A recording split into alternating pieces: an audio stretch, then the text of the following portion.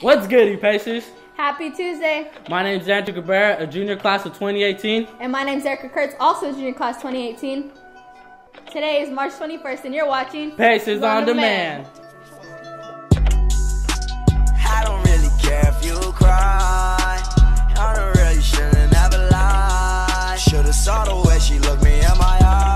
Attention, Pacers. Are you planning attending community college? Well, Ms. Brown will be in the library Thursday, March 24th to assist you in any help you need. All 10 and 11th grade Latino students are welcome to apply for the Chicano Latino Youth Leadership Conference at the state capitol. Please go to the following link to complete the online application. All applications are due April 19. This is a free one week conference from July 22nd to the 29th. See Ms. Herrera in the counseling office for, more, for any questions. We'll be hosting our first annual Pacer Olympics on the last week of March from the 27th through the 31st. All Olympic games will take place after school. We need Olympic teams. Alright? Human checkers, capture the flag, kickball, badminton, tennis, dodgeball, relay race, human go kart race, hot dog contest, and Marines obstacle course. We are looking for freshmen, sophomores, juniors, seniors, and a staff team. Each event stop by E2 with your friends to sign up, alright?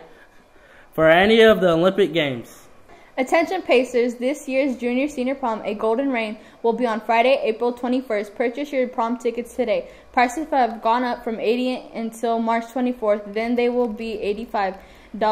The last day to purchase your prom tickets is in two weeks before prom. April Friday, April 7th. Last day to turn in guest passes also April 7th. Pacers, no games will be allowed during home softball games and the trash left there during first and second lunch. It's starting to become a problem effective immediately. There to be no pickup basketball games played during home softball games, nor will eating be allowed around the courts. If these are, requests are violated, privileges to play during lunch will be discontinued. Let's show our Pacer pride and be respectful to both of our requests. Hey Pacers, for the first time, Friday Night Live entered the Breathe California Youth Media Awards. The team won second place, which included a check for $200. Congratulations to our mighty Pacers. Good morning, Pacers. I'm about to go interview Mr. Marshall about the new basketball courts. Let's go. I'm here with Mr. Marshall.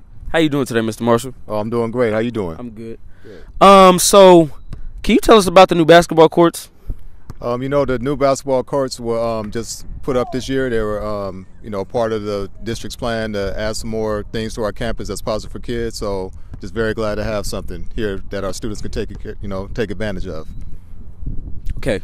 So, um, have you had any bad experiences with the court so far?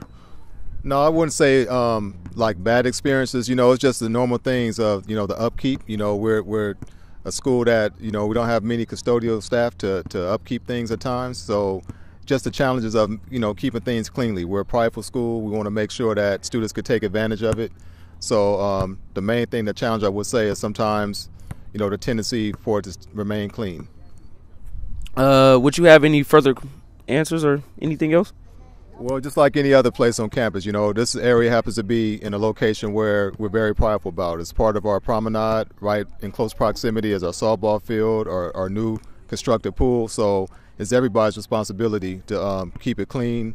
You know, um, I don't think I'm going to continue to allow lunch to be had out here because it just puts it's too problematic. But that's the last thing I would have is that everybody has a responsibility to keep it clean for us to maintain it and for students to enjoy. Okay, thank you, Mr. Marshall. Thank you.